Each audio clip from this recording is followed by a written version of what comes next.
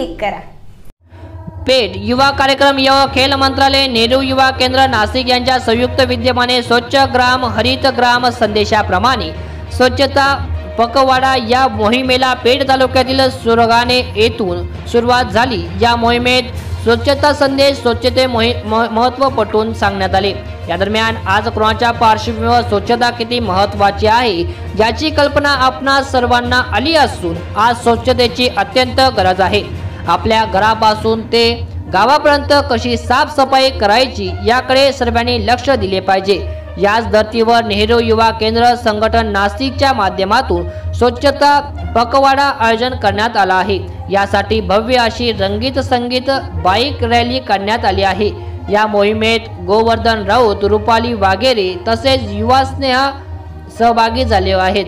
प्रबंधवी महाराष्ट्र न्यूजसाठी गणेश सातपुते पेठ. ताज्या व महत्त्वाच्या बातम्या बघण्या